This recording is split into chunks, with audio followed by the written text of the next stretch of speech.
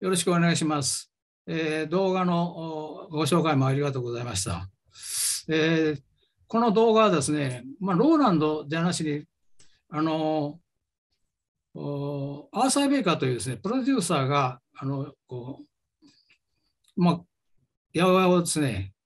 まあ、称賛したというその動画を自主的に作ったものなんです。で、ここに、まあ、登場するあの人たちはさ、まあ、後ほど紹介しますけども、よろしくお願いします。あ、これがいるね。これかな。この楽器ですね。はい。で、えー非常に有名になってましてですね、えーいろんなグッズやガジェットのアイコンとしても使われるという、こういう状状態になってるんですよ。ちょっと、ちょっと待ってくださいね。この画像が、あ、まずいな、見えないな、これ。ちょっと待ってくださいね。なんとかな、あ、こっちか、こっち来たらいいか。失礼しました。すごくファッショナブルなグッズがたくさんありますね。ええ こういうね、こういうのでもう、まあ、今の現代の音楽のおポップミポップミュージックですね、それには必ず使えるという、そういう、おまあ、この音楽のもうドラム、特にドラム系のですね、音の、まあ、スタンダードになってしまってるんですね。で、ね、これはあのベルリンの市内走ってるドラムにもですね、こういう八百屋のデザイン、これもローランドが PR したもんじゃないと思うんですね。で、まあ、なんでこんなあの808がですね、このこう有名になったかという、このもともとのですね、その始まりのようなものをですね、今からちょっとお話します。えーローランドのですね、当時の創業者で、掛橋さん、社長はですね、1979年に米国出張から帰ってこられてですね、今そのアメリカでのあの音楽録音スタジオですね、このいわゆる生々しい、ちょっと待ってください。こういう生々しいですね、ドラムの音ををですね、あの出せる自動リズムマシンですね。これがあれば、あのスタジオですね、ドラムをやらなくて済むということで、でこれをもし1000ドル以下で作れると大きな市場があるよという話が出たんですね。で、えーまあ、検討したところですね、当時あのサンプリングという技術がこう話題になり始まってまし始まってまして、えー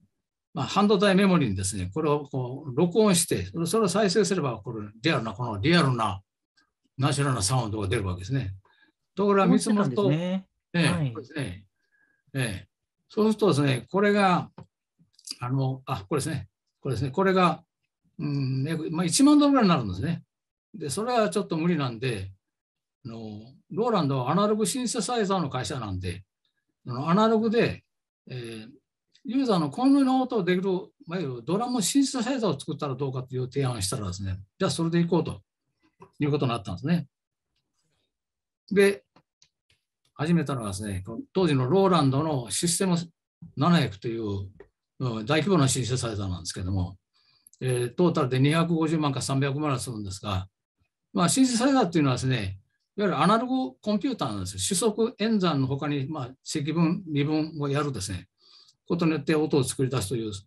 まあ、装置なんですけども、この、おこれですね、いわゆるストリングスだとかブラスのような音を作るには向いてるんですけれども、パーカッションですね、打楽器の音を作るにはこれね、あまり良くないんですよ。で、ですね。最初これ、うん、あの、安引きしたもんですけども、こうやっていくにつれて、とてもこれは時間が間に合わなくなってしまってですね、そして、まあ、開発は非常に難航しました。うんで、しかもですね、これだけのシステムをですね、この箱の中に入れるのはもう絶対無理だということで、妥協に妥協を重ねた結果ですね、まあ、この製品ができたんですけども、まあ、その最初の約束通りですね、そのリアルな音はできなかったんです。その代わりにですね、あの太い音が出たんですね。このこの太い音というのが、とてもですね、普通のアンプにあとかスピーカーで出せるような音じゃなかったんです。こう一般家庭にあるようなものでは出せなかったので、当時、ローランドの開発にあったスピーカーでもこの音が出なかったんですよ。で、リアルな楽器の音ではなくて違う音が出たってことですね。そうそう。だから、本来そのねうん、こういう音を出してほしいというね、これですね、これを出してほしいということだったんですけど、これが出なくてですね、で、結局ね、うん、こういうね、太い音が欲しかった。これはね、人類がですね、その古今東西、こういう太い音を出したかったで大きな大きな太鼓を作るんですけども、実はこれ太い音しないんですよ。なもうご想像できると思いますけど、これをバチで叩くとですね、バチャバチャと音がする。大きなマレットで叩くとね、はい、これ破れるんですね。ですから、こういう音は現実にはない音なんですね。その彼が求めてる音。期待する音はこの音なんですけども、実際に出る音はですね、ナチュラルリアリティというのはバチャバチャなんですよ。で、彼らが求めているのはですね、そのヤウェイで出た、ヤムウェイズ出たですね、その八幡町のものすごい低音の出る音だったんですね。で、あの、まあ、これを彼らが選んだのはさ、やっぱり従来のその西洋の、まあ、黒人が主にこれやったんですけどね、この、あの、彼の感性というのはですね、その、まあ、西洋のその伝統に、まあ、束縛されない自由な感性だったということなんですよね。で、この出した商品のですね、えー、前後にまあこういうふうに同じようにあのいくつかの製品出したんですけど、これも今でもですね、非常に大きな音楽的な影響を持ってですね、これサンバガラスですね、303、808、909というふうにですね、一つのシリーズができてしまってるんですね。で、えー、これ数年前にこれを担当したですね、開発を担当したあのスタッフが集まってですね、えー、同窓会があったんですけども、もう今は彼らはこうレジェンドになってます。で、この写真をですね、五代醐のトミー・スナイダーさんに送ったら、このアナログマフィアという名前を付けていただきまして、以後我々はアナログマフィアという言い方ですね。神々じゃなしにマフィアなんですね。で、えー、15年前に、えー、このニューヨークのですね、アーティストで、えー、ミッチ・ウェルという人がですね、こういうこの祭壇がですね、電子部品を、この細かい電子部品が使われてるんです。電子部品を使ってあったですね、祭壇画を作ったんですよ。これがあの、え、アナログシンセサイザーを発明したドクター・ムーグです。で、これがですね、えー、リン、ロジャー・リンといってですね、主にサンプル系の楽器を作って、まあ、音楽に大きな革命を起こしたんですね。で、これは私なんですけど、その TB303 というのを持ってですね、大した仕事はしてないんですけども、この3人でこう並べられてて、誠に光栄なことなんですね。で、えー、まあ、こういう情報がいろいろこう巡るとですね、このいろんなところからそのメディアからこう取材があるんですね。で、私らも今までは、まあ、我々がやった貢献したことじゃなしに、アーティストがこのね、始まる8の進化を引き出したんだということで、まあ、取材はお断りしてたんですけども、まあ、それも含めて、あの、記事にしたいからということで、まあ、大石さんのこういう本になったんですね。これで、神々になってますけども、タイトルはちょっと神々やめてほしいなということだったんですが、まあ、日本はやあの八百万の、ね、神ですからですね、神々の国ですから、まあいいだろうということで、まあタイトルは出版社と著者が決めるらしいんですね。まあこういう形になりました。本日のタイトルにも使わせていただきました。まあ、そうなんね。非常に恐縮してるところなんですね。まあ、ですからこう、楽器がですね、アナログからデジタルにこう移行する、この端境期にはですね、非常にいろたくさんのことが起こってるんですね。で、我々が、うんああの貢献したわけじゃないですけども、たまたま作った楽器が、そのね、アメリカのそのこうクリエイティブな、まあ、ミュージシャンたちによって、その一つの音楽の、まあ、イノベーションといいますか、革命を起こしたわけですね。で、そういう時代、ね、そうですね、時代時代にですね、そういうあの端境期、技術の高あるいはメディアの大きな変遷のあるときに新しいこうビジネスが、あるいはあの文化の変遷が起こるということがこれで言えると思うんですよね。で当時の開発技術を見てみましょうか。これがあの先ほど紹介したあのモーグ博士のですねシンセサイザーです。でこれがプロフェットですね、シーケンシャル。これコルグさんのね。これはローランドですね。で、これがオーバーハイム。まあ、こういうふうに、えアナログシンセサイザーがあの、え70年代からですね、80年代までこの時代が続きました。で次はですね、あのデジタル時代ですね。で先ほどのロジャー・リンというのはこの審査あのドラムマシンを、これにサンプラーで使われてるんです。5000ドルしました。ああの評判は良かった、まあ、あの数は出なかったさすがに値段が高すぎてです、ね、でこれが山田さんの有名な DX7 です。で、あのデジタルシンセサイザーです。で、ローランドでもこの後を追いかける形でですね、D50 という製品を出しました。以後、まあ、デジタルサンプラーだとかですね、まあ、この辺は私らの最後の商品になりますね。えー、V シンセサイザーとか V トラムスといったものね。で、まあ、こうしてあの進化を見てみますとですね、もう少しこう昔遡ってみましょうということですね。ますと、まあ、これ石器時代ですね。この楽器の素材ですね。これ骨だとか動物の皮だとか材木木だとか竹だとかね。これはあのメディア学者のマクルハンにはそうですね。これは楽器はメディアだというんですね。自分の感情を人に伝えるためのメディアなんだと。で、そのこの楽器そのものもですね、この素材にある、この、例えばこれは、あの、象の牙でしょうけども、この木はですね、これがこのメディアであって、ここにメディアに加工するという情報をすることによって楽器になると。でこうした、まあ、この時代、石器の時代ですね、こういうふうに当時の貴重な素材を使ってですね、楽器を作ったんですね。武器もそうですね、楽器と武器にはですね、やはり、その当時の貴重な情報を使っていくという、そういう人類のあれがありますね。で、これ次はその、青銅器、それから鉄器の時代ですね。で、この当時も、この当時もですね、やっぱりいい素材をですね、ふんだんに使ってるんです。で、機械時代のですね、この後半になってきますと、ピアノですね、まあ、現代も使われてます。ここにあの、ピアノ線、がありますけどもピアノ線というのはですね、俗称であって、実際にピアノに使うのはですね、ミュージックワイヤーというもっと張力の強いですね、安定した弦が使われている。この技術は、まあ、19世紀にに開発されたんですけど、今でもね、それを、それが伝統して残って使われてるんですね。当時の先端の技術は常に使われてきたと。楽器も武器もですね、当時使える先端の技術を惜しげもなく使ってきたという、そういう歴史があるんですね。で、今は何の時代だと。で石器時代があって、で、青銅器、ね、鉄器。で、今も石器時代なんですよ、実は。なんていうこと、軽石器。今最近話題になってますね。TSMC だとか、日本は半導体ですね。もう力なくなってなくなってしまいましたけども、これ実はシリコンというのは軽石器なんですね。だから今、長いスパンで見ると軽石器の時代なんです。で、軽石器の時代の中で電子化学と言いますと、トランジスターとかですね、IC の時代で、これがアナログなんでね。で、その次に90年代、80年代か90年代で、今もそうですけども、LSI って CPU 使って、これがデジタル時代なんです。で、TR808 というのはちょうどこの真ん中あたり、この境目でですね、できた楽器なんですね。で、現在は、もうそれから20年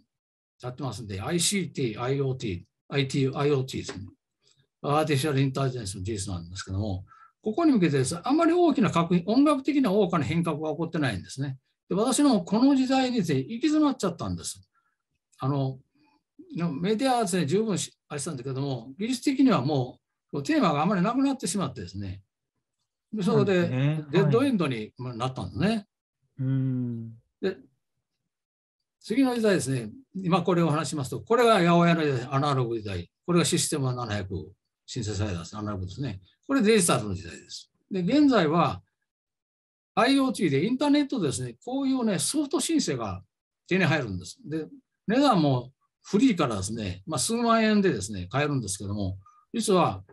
このシステム700、250万円ぐらいシステム700、数十台分ぐらいのパワーを持ってるんですね、このアナログ、うん、このソフト申請。これが数万円またはゼロで入ってくるんですね。楽器業界としてはなかなか厳しい時代が来てるわけですね。で、しかし、確かにこれが登場することによってです、ね、音楽の生産性は上がったんですけれども、TR808 のようなああいう楽器ですね、あるいはアナログ申請のようなああいうですね、楽器がの革新というのがまだ起こってないんです。で、私も、まあ、退職するまでの間ですね、なんとかそのもう一度、八百屋808に匹敵するようなね、何かこうイノベーションを起こさないかと思ってやってきたんですけど、ついに一台も全くそれを達成することができずにやめてすることになったんですね。うんで、まあ、それでもですね、一応在職中に、まあ、行き詰まったんだけど、もう一回、その音楽というそのものをこう見直してみ見直してみようということでですね、この音楽そのもので、良い演奏会の要件というのは何かと。当然ですね、演奏者ですね。それが楽曲である。それが楽器であると。あと、何だと思いますか、漆島さん、これ。そうですね、これね、音場なんですね。もっとありますね。そうですか、はい。ええ、音を出す場ですね。これ、これは出力する方だ。出力がですね、受け側の方ですね。これ、音場と、それか、ら、聴衆がいなかったら音楽になりなりませんよね。いい聴衆がいるね。うん。で、私らは今までですね、楽器メーカーとしてこればっかりやってたと、私の研究所でもね、こればっかりテーマだったんですよ。これば楽器メーカーなので、楽器メーカー当然。そうなのかいなって思ってました。やまあ、はいだ山田さんなんかはこれ以外の一般出されたローランドはね、どうしてもハハードを中心になってしまった会社なのね。で、研究所も、もう、ものづくりのためのですね、まあ、技術の研究をしてきたわけですけれども、うんまあ、行き詰まってしまったんですね。やっぱりこっち、もう少し技術センターとしてもやることないだろうかということで、こっちにフォーカスしてみたんで、まあ、これはものづくりじゃないしに、ことづくりですね。ちょっと技術の、技術センターのこの両分を超えることになるんですけども、そういうことで、うん、あの考え始めたんですね。聞く人を聞く場を巻き込んだそうそうそうそう。デザインなんですね。はい。そうですね。で、これ楽器に、ね、楽器のですね、まあ、楽器っていうのはその、ね、生の音から、その先、この、八百屋の音なんかですね、もう山の生の音よりもむしろ強化された現実の音の方が強化された時代があったわけですね。で、同じようにですね、今の音の場、コンサート会場であるとかですね、あるいは、いわゆる音声を演奏する場をですね、もっとこう、新しい技術で拡張することができないか。音の音場の拡張現実ですね。これをね、できるんじゃないかということです。つまり、ものづくりからことづくりで。当然、その、これをやることですね、楽器を開発することもですけれども、音楽人口が拡大すると。お客さんを増やそうという、そういう魂胆なんですね。で、そのためには、まあ、コンサートホールだとか、野外ステージだとか、ライブハウスとか、ストリートライブね、こういうね、ものの音場をね、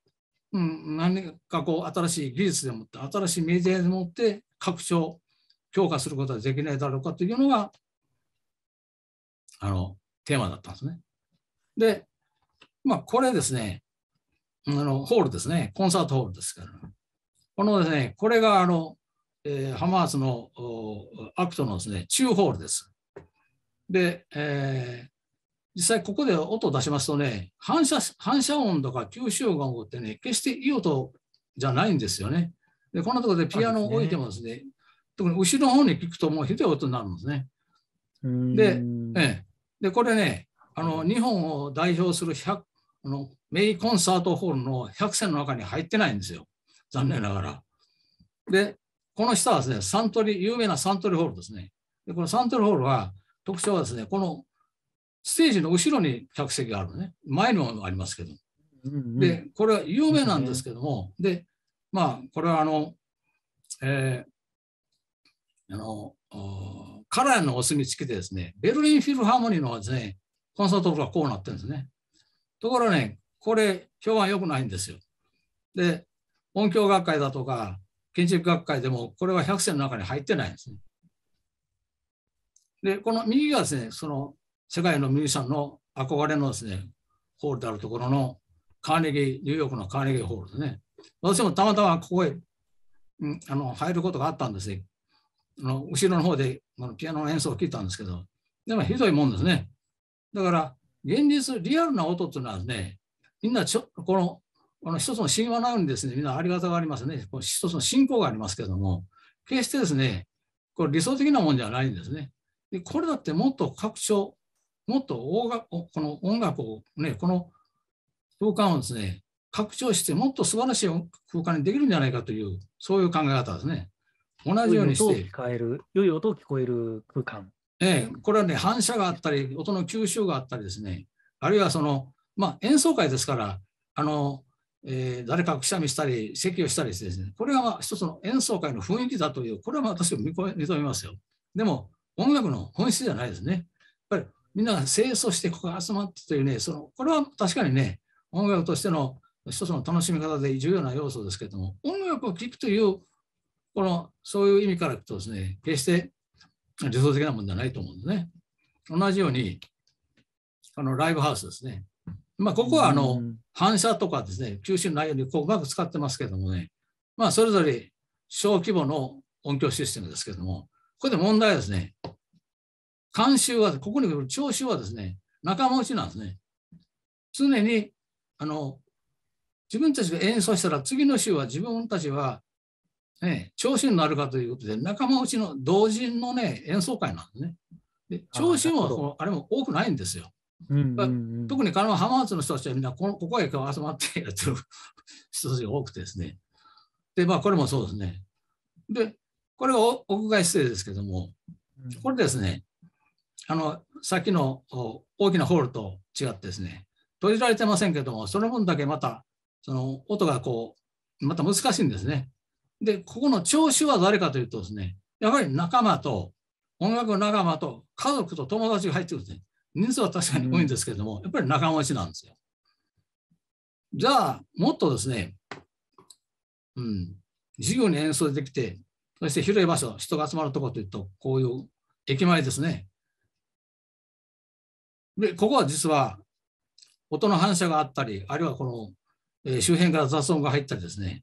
これはまたひどいものなんですね。で、えー、まあ、こういうところですね、演奏するには許可もいりますし、それからアンプはもう使えないね、実質的に。ということはですね、やっぱり生音、はい、あまり使えないんです。で、これはあの日本だけに言われて、世界中の主要な都市ではもうほとんどアンプを使えない状態になっています。で特定のこういう特定の場所でですね、使うことはできますけど、実はこういうところは聴衆が集まらないんですね。当然ですね、これ人に迷惑かからないようなところで演奏するということはですね、お客さんも集まらないんですよ。浜松にこういう場所がありますけど、はい、ほとんど人いませんよね。周りの人がいないと逆に近づきがたいところもあるかもしれないですね。はい、だから全くね、うん、こういうふうに音情というのはね、まだ理想的な状態になってないんですね。あ、なるほど。うん。だから、うん、そうですね。で、例えばこんな、ここのお客さんはね、はっきりローランドののビジネスドメインに入るお客さんじゃないように思うんですよ。で、まあ、ここですね。でも、本来はやっぱり、もっとですね、ここだと思うんですね。で、これはですね、あの、たくさん人集まってますけども、これはあの、小袋というですね、あの、路上ライブで有名になったミュージシャンがここでやるんですけども、これ人集まってますね。これはですね、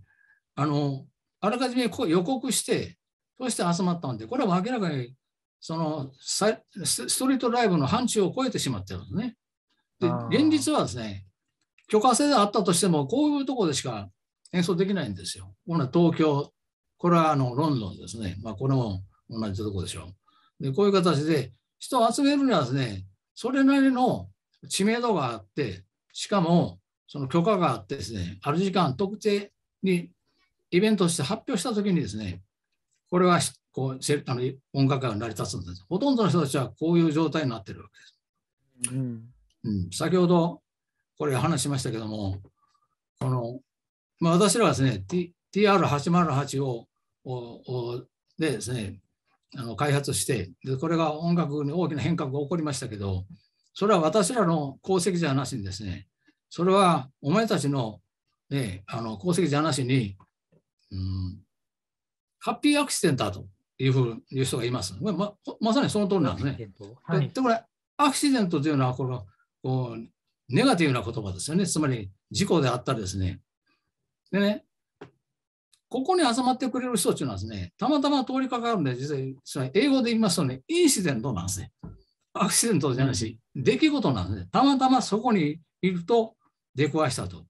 つまり一般の通行人がここを通りかかっているという条件がですね、あるわけね。これ、これそう、たまたま人が通りかかるとですね、で、これはインシデントなんですよ。だからストリートミュージックっていうのはインシデントなんだよ。で、もしこれにいついつやるよと、あるいはですね、このライブミュージックのようにですね、いつつやりますよと。で、お客さんも演奏者もこうそのイベントというのを目指してやってきますよね。仕掛けたものであって、仕掛けられたものというのは、これはイベントなんですね。でそういう意味ではですね、そのこのインシデントを何とかしないとダメなんですね。たまたま通りかかったと。ということは、そういうヘッドホンをみんなが持って常に通りかかった時に音楽になると。これが路上音楽のですね、まあ、条件になるわけですね。私らこれを目指したわけですけども、そのためにはですね。に通りかかって自然にいい音が聞こえてくるそうそうそう、うん。だから条件としては、うん、そのためにはこのワイヤレスヘッドホンがあってですね、で、これがミニミニで、ミニ FM 放送をするという形ですね。これは、あの、FM 放送ですから、チャンネルを周波数を変えればですね、同時に複数のバンドが演奏できますよね。そうすると、お互いにバンド間のこうクロストークというんですか、混濁がなくなる。しかも近所に迷惑かからない。音はいい音で聞けるということですね。そして、ここにいいヘッドホン、今ヘッドホンよく非常に良くなってますからね、もう PA 必要で、PA が不要であるということね。もちろんこうワイヤーで使やることができますけど、こういうことがもしできるようになったら、この楽器人口、演奏人口が増えるんじゃないかという、そのこういう提案したんですね。ところがですね、その一般的に言いますと、その音の出ない音楽なんて変えないってありえないと、無音なんてありえないというのがね、一般的なこう考え方なんですね。で、これは、あの、まあ、おそらく伝統的にそうであったがためにですね、その音の出ないサイレントというそのストリートミュージックというのはありえないというね、先入観がどうしても働くんで、私はこの話をするとみんながかわいそうな顔をして、気の毒そうな顔をしてよく見られましたけどね。まあ、そんな状況でした。で、タイトルにサイレントストリートミュージックってありますけど、そういう静かな、そうでもヘッドホンで共有できる、しかもいい男っていう、そういうそういう空間ですね。そういうことですね。で、まあ、これに対して、その、今までどういう経緯でこれをこれ進めてきたかということですけどね。まずですね、まあ確かにヘッドホンをですね、あの貸し出したり、あるいは自分のヘッドホンをこうわざわざ持ってきなさいというのはですね、なかなかインシデントにならず、イベントになっちゃうのね。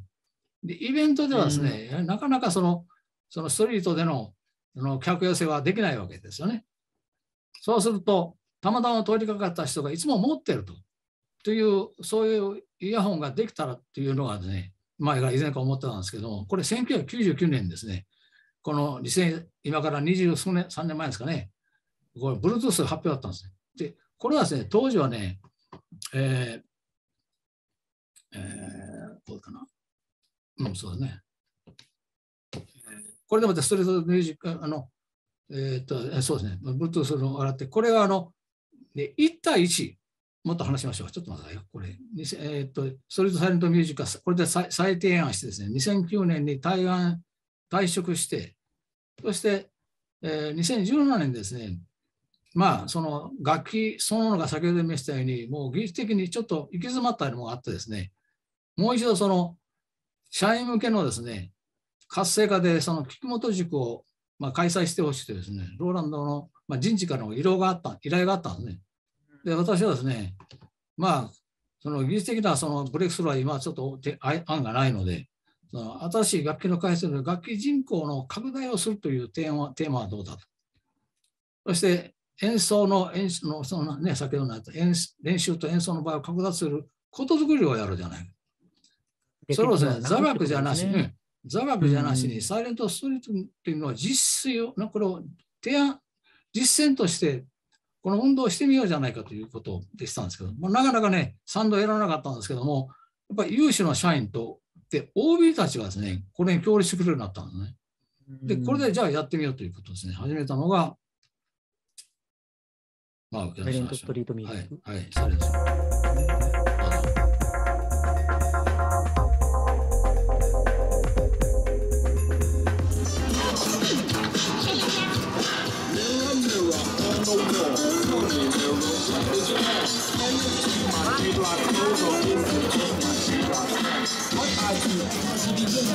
Trouble let the clown turn around, look over your shoulder, can't rest. What the?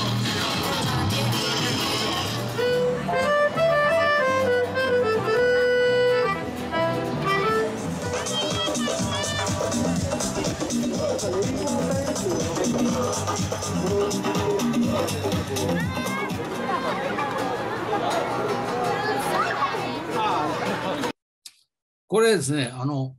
えー、ヘッドホンですね、しかし FM ラジオってヘッドホンをそこで貸し出しすることによって、で全部で4バンドがですね、演奏、あのサイレントの演奏をしたんですね。そしてそれぞれ赤いリボンをつけた、ヘッドホンつけてた方がいましたね。そうそうそう。こういう人、これを提案して、提供してですね。でね、あの通りがかりの人はやっぱり危険な顔して通るんですけど体験してもらうとですね、あの非常に感動するんですよ。で、それはですね、あの同時にたくさんの人が同時に演奏できてるという、この意外性について非常にまあみんなびっくりされるわけですけども、まあ同じようにですね、えー、これはあの、えー、ヤラマイカフェスティバルのですね、軒先を借りましてね、同じ年ですけど、2018年かな、にやったのがね、同じように、これも4バンドが同時に演奏して、で、このヘッドホンをですね、これを、これ FM ラジオここついてるんで、FM ラジオをつけてですね、で、それを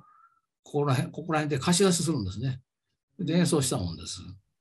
で、ここでですね、あの、途中でヘッドホンが、ヘッドホンからの音と、それから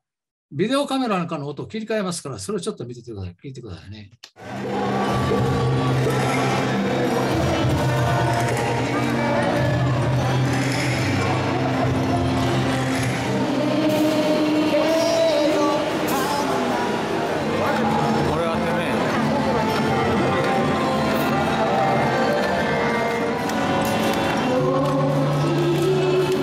混じってますね。これが、いわゆるナチュラルな生音ですね。愛してるって伝えたくて、すごい。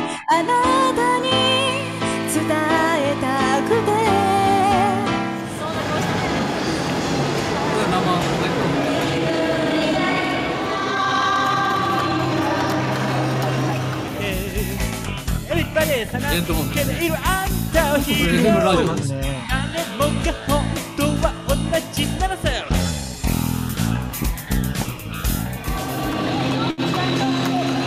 これ、主に手伝ってもらったらや、ローランドの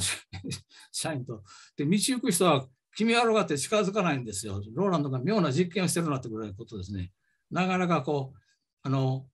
これが浸透させるのは難しいなという印象が、まあ、経験者、体験した人は非常にみんなあの感動してくれましたけどね、まあ、もう一度これ中こうシステムをお話しますとあのボーカルとですねキーボードをこれミキサーしてでここにですねこれあの Amazon で1000円ぐらいで売ってるんですけども FM で電波飛ばすんですね。でそれぞれが調子がこれトランスタラジオを持ってきてくれればいいんですけども今もこういう時代じゃないですからね。まあこういうシステムなんですね。これはあの同じように、えー、こうすると複数のバンドが同時にあのこう近隣のですね、こお店なんかに迷惑かからないんですね、商店街の活性化できるんじゃないかということで、熊本ですね、三年坂というところでこう実証実験をしたんですよ。これもあの途中で音が切り替わりますから、ナチュラルな音と、それから拡張現実ですね、AR、元の AR ですね、をちょっとここで聞き分け、聞き比べてみてください。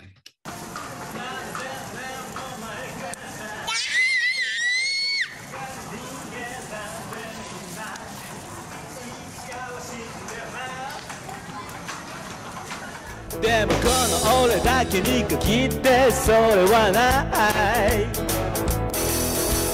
数の噂に聞いたけど年取らない魔法のサプリメントあるらしい。テレビで言ってた。今すぐ。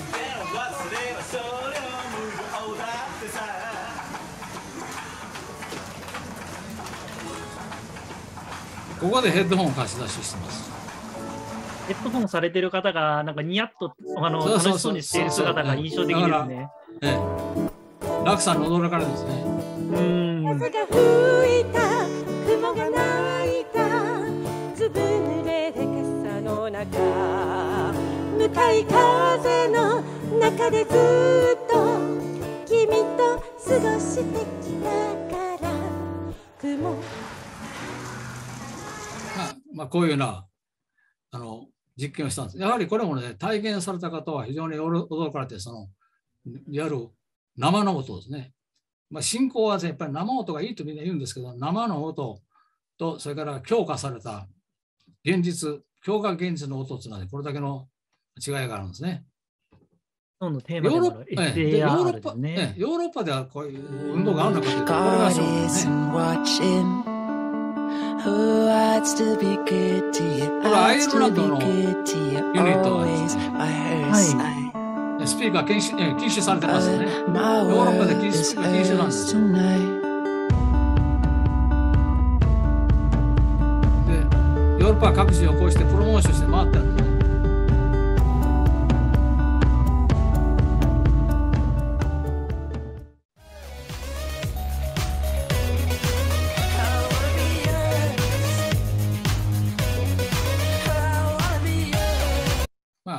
で、さらにこれはあの、スペインのバレンシアというですね、街でのデモなんですけども、これはあのワイヤレスの代わりにですね、ここに有線のヘッドホンを用意してもらってるんで、これですね。真ん中に並んでますねこ。れ、これ、そうですね。はいあ、今装着されましたね。ええ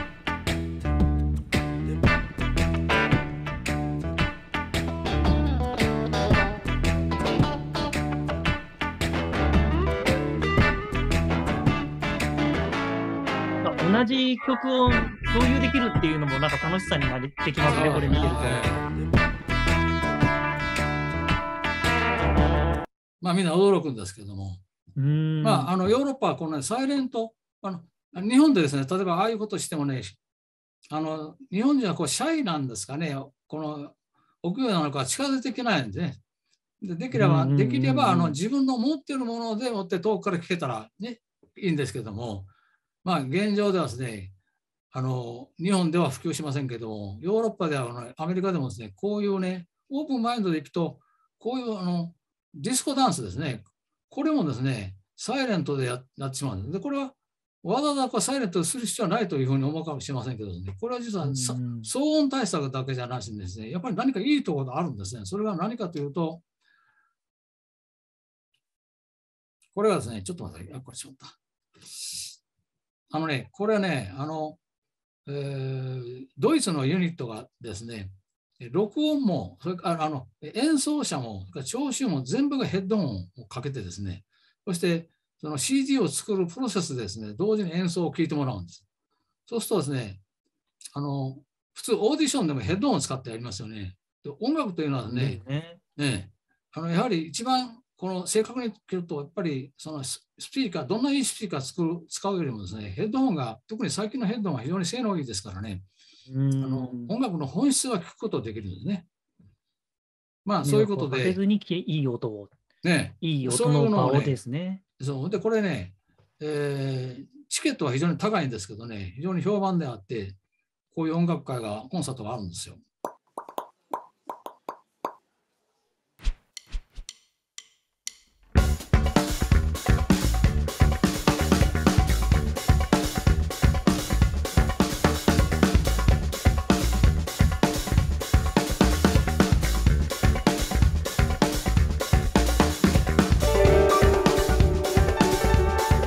Hey guys, my name's Julian David. I'm a recording engineer, music producer. We're here in Germany at the Domizil Jazz Club in Dortmund, and I'm the head of audio recording production for Filou. It's a jazz fusion uh, six-piece band out of this area, and we're doing a pretty massive um, まあ、あの、いわゆるこれでね、みんな、おその聴衆も演奏者もですね、非常に注あのいわゆる注 注力して音を聞くからですね、手が抜けないんですね。そうすると、ますます素晴らしい演奏になるんです。で、これはあの日本でもあのこういうことを試みてる人がいますけども、なかなかですね、やっぱり普及しないですね。やっぱりヘッドホンがこう問題なんで、ヨーロッパでもこのディスコですね、あのサイレントディスクはこれが普及するんですけども、ある一定以上増えないんですね。で、それはですね、あの、特徴はですね、これ今イマージョンなんですね。ハイファイということよりもイマージョンなんですね。つまり没入感があってですね、あのこれに対してサイレントというものを受け入れられてるわけですね。あの日本のメーカーで、オーディオメーカーさんでハイレゾを一生懸命提案してる人いますけど、あの会社ありますけども、まあ、あんな、その、う過剰な情報を送ってもですね、人間の耳はそれを受け付けてないんですね。それより大事なのはこのイマージョンなんですよね。入感。ね。体験が重視、体験を重視されてるってことなんですね。そうそうそう。で、これですね、あの、実はこれは、あの、山田さんも先行されてですね、山田さんはご存知のように、あの、サイレント楽器をやられてますよね。で、これはあのうん練習に主に使われるんですけれども、この、おサイレントのですね、これヘッドホンであるということについて抵抗の少ないですね、ヨーロッパですね、これはヤマハヨーロッパのあの展開されてるんですけども、サイレントをですね、サイレントエクスペリエンスということですね、このすでにもうすでにサイレントミュージックをこう進められてるんですね、先行されてるんです。うん。でこれは専用ヘッドホンを用意してですね、演奏会をしたり、あるいはストリートミュージックも含めてやってるわけね。これはあのえー美術館でですね、例えばバロック時代の、まあね、絵画を見るときにバロックの音楽を聴きながら解説も入ってるという方が、単に見てるより楽しいはずですよね。こういうようなこともね、提案されてるんですね。で、これも専用ヘッドホンがあるわけです。で、これがですね、やはりヘッドヘッドホンがこの専用であるということがですね、で大きな障害になるんですね。あこれはですか日本であるからこれはなかなか普及しないですね。で、先ほどから言ってるように、あの、うん、Bluetooth ですね。これが1999年発表されたんですけども、残念ながらですね、あの本質が今一つだったんです。それから時間が遅れるのね。あの信号が送られてから音が出るまでの間に時間がこうレイテンというんですけども、こうかなり時間が遅れることによってですね、こう音楽をこうライブで聴くということはできないんです。でしかも、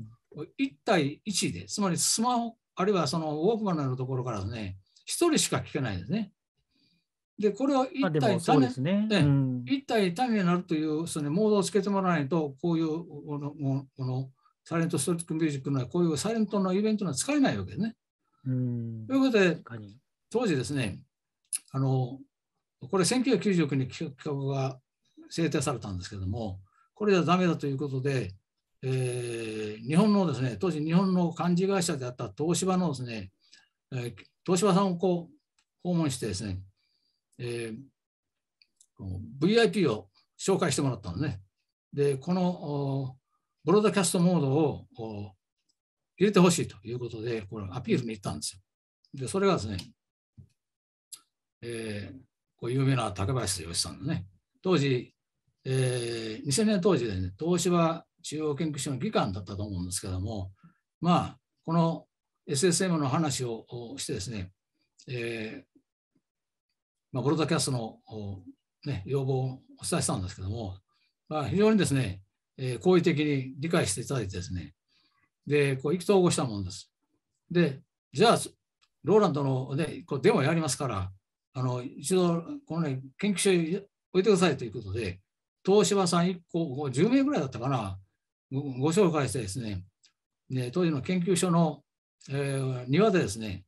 えー FM ラジオ、10台ご用意しました。それから、えーあの FM、ミニ FM 送信機ですね。これをあの5台用意したんです。これは当時、私の女性秘書だった女性のですね、あれに作ってもらったんですけども、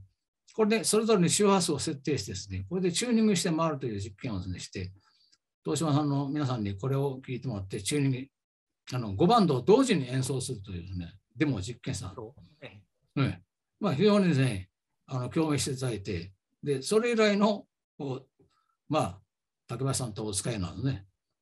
で、まあ、ところが残念ながらですね、これが、あのーえー Bluetooth のですね、のいろんなこう成り立ちから見てですね、まあ、Apple 社がね、Wi-Fi に収録してたと。で、インテルは不参加だったんですね。で、通信分野のね、半導体が意外にの進歩が遅れてですね、ちょっと進まなかったんです。で、もうこれにお願いしてから20年ですね、なるんですけども、やっとですね、このこれに使えるイヤホンの Bluetooth の規格がこう決まったんですね。で、それがですね、LE オーディオシェアリングブロードというブロードキャストなんです。これはあの低電力ですね。LE ですからローエネルギーですね。長時間持ちます。今までの Bluetooth よりはるかに長時間持って、しかも時間遅れがなくて、で、ブロードキャストができるんです。で、このブロードキャストをですね、あの選選曲するのに、QR コードなんかを読むことによって選曲することもできるんだということで、その企画はですね、ねもう決まりまして、おそらくここ数年のうちにこのこのブロードキャスト対応のです、ね、ブローイヤホンがこう普及してくると思うんですよ。そうなってくると、先ほどいろんなね、あの障壁もですね、まあ、解かれて、Bluetooth、サイレントストリートミュージックの普及になるかなというふうに期待しているところなんですね。ワイヤレス自体は結構もう普及してますもんね。ね、なの Bluetooth で、これから、ねはい。そうなんですよ。で、それがですね、まだまだあのできなかったのはこのその程度だったんです。で、こうなりますとね、このもう Bluetooth イヤホンにはあのマイクロフォンをこうつけましてですね。で、例えば、このこう Bluetooth これ来ますと、イヤホンをつけますとですね、あのいわゆるあの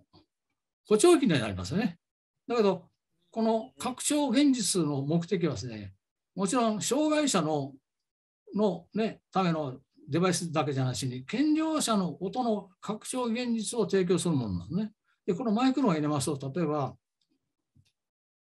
この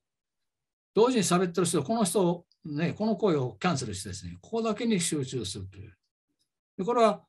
この中に入っている DSP だとか人工知能を使うことによってですね、ここのここの音を放火することができるんですね。うんうん例えば、あの、えーまあ、パーティーの中で誰か自分の噂をしているという時に、ここに集中すると、あのそのだけを聞くことができるという現実、拡張現実の機機能を持つことができるんですね。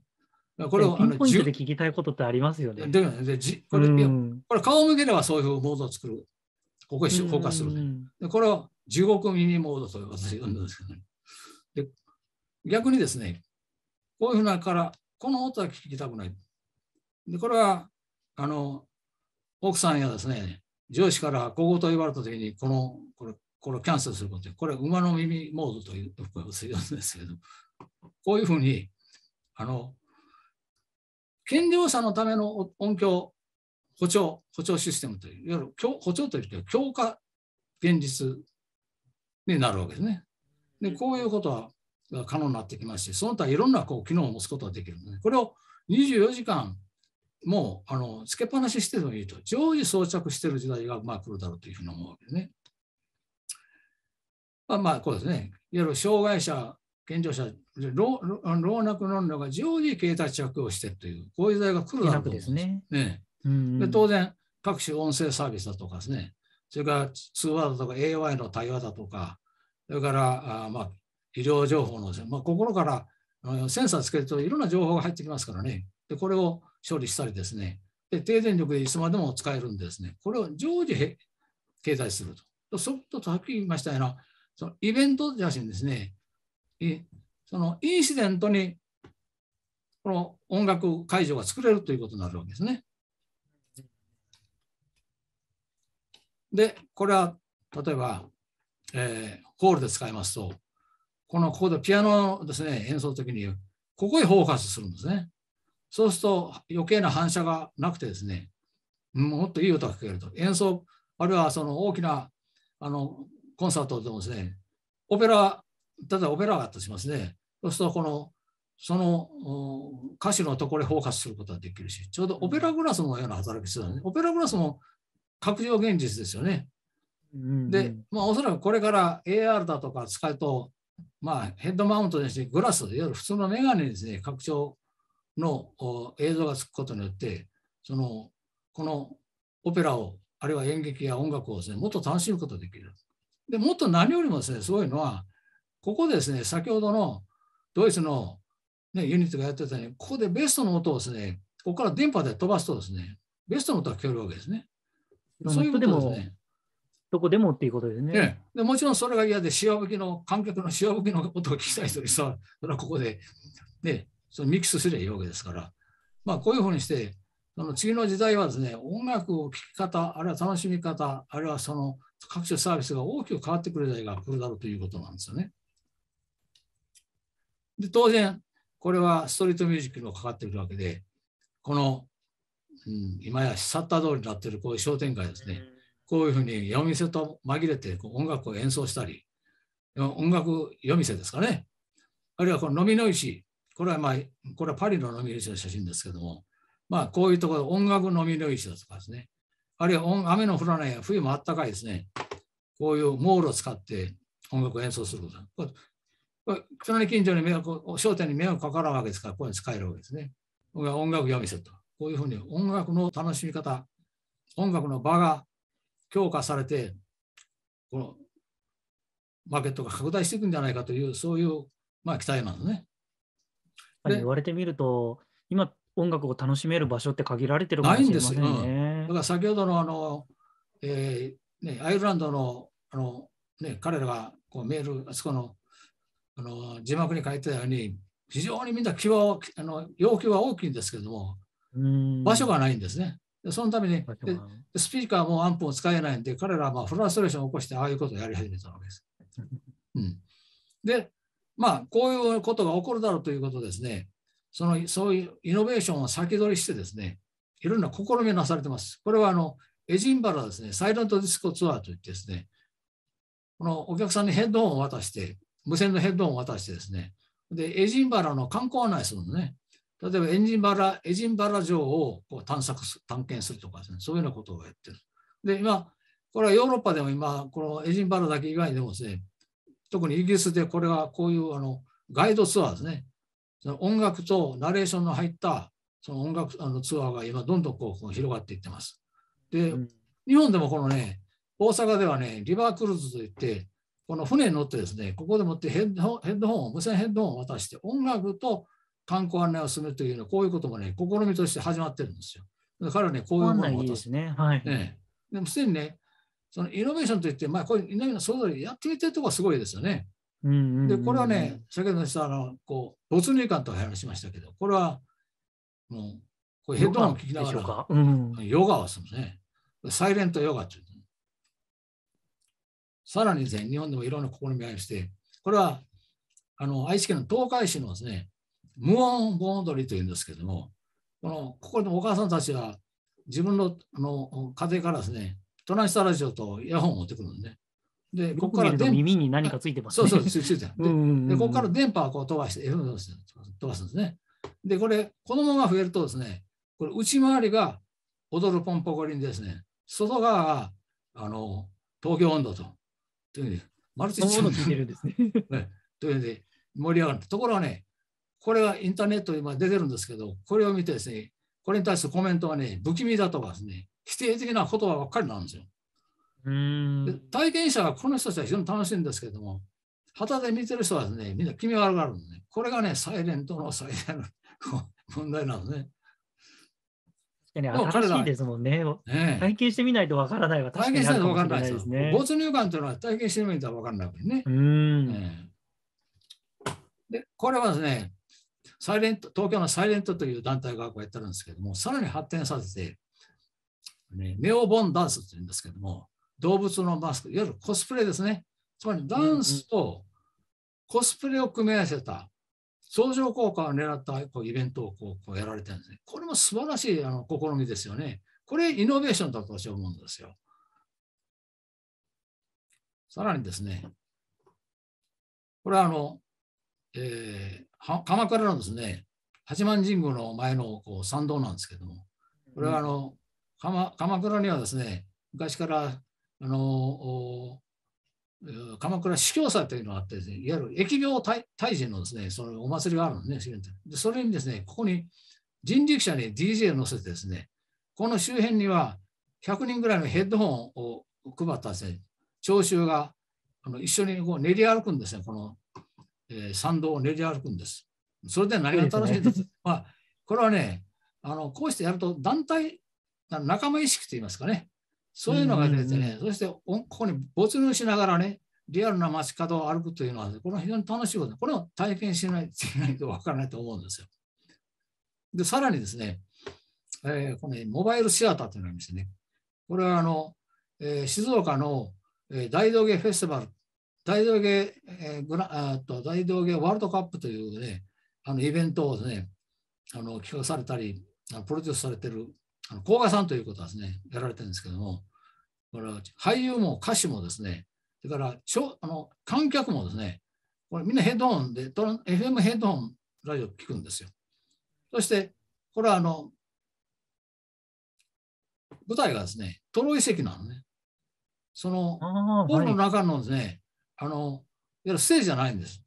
だから、ここのトロイ遺跡をテーマにしたですね、そのドラマ、あるいはオペラだとかですね、こう歌を使って、いわゆる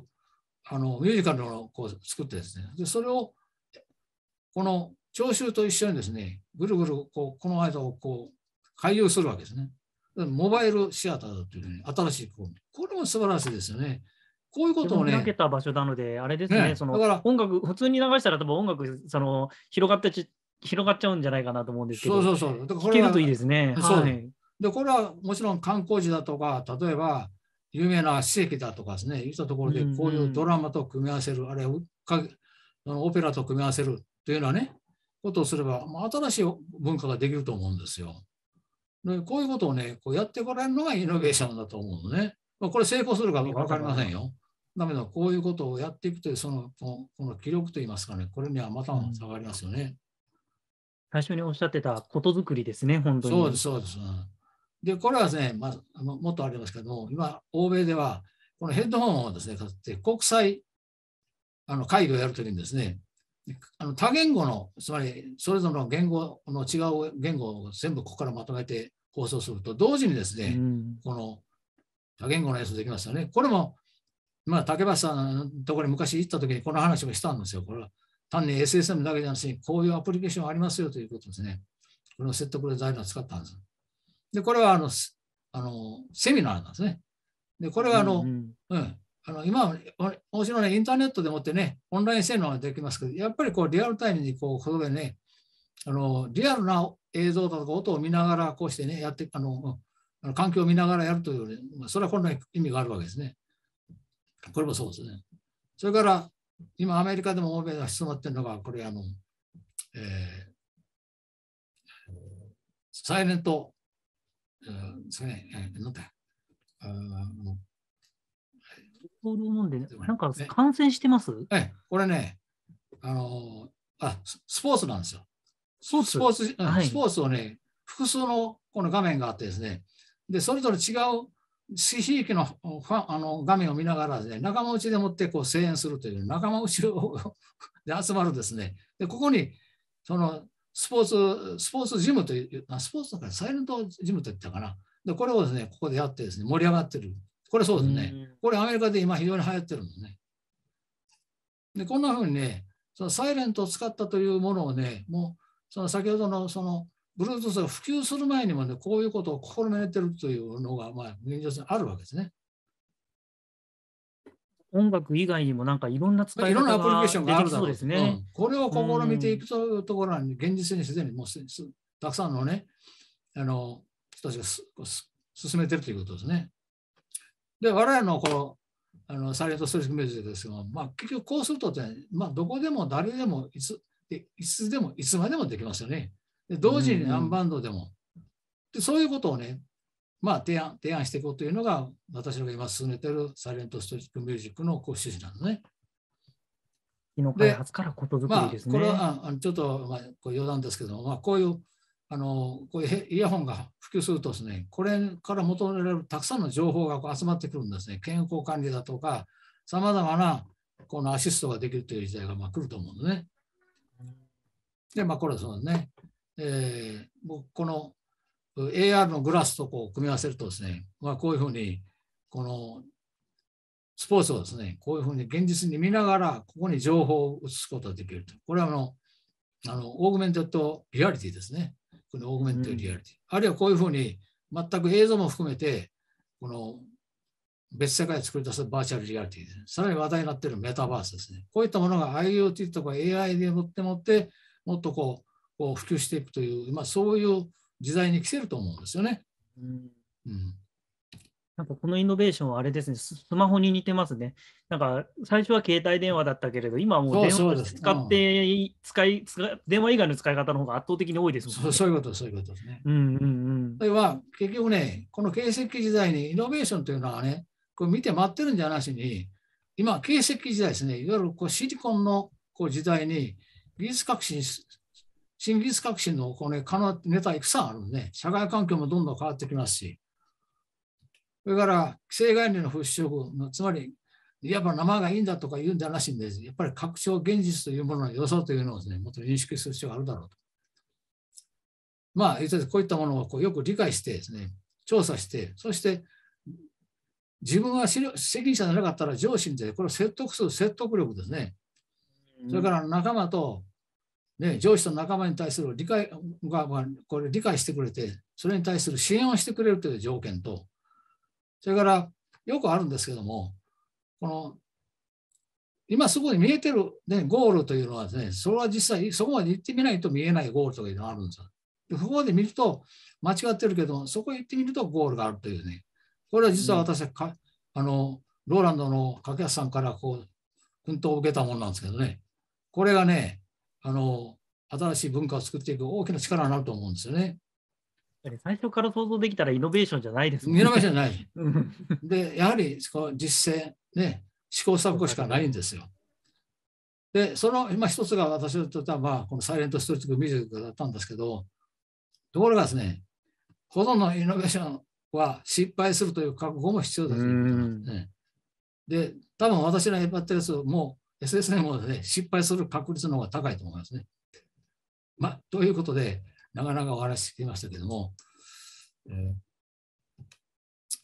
もうご清聴ありがとうございました。どうも。80歳という年齢でもまだイノベーションに挑戦し続ける姿っていうのがなんかすごく感銘を受けました。あの木本さんありがとうございました。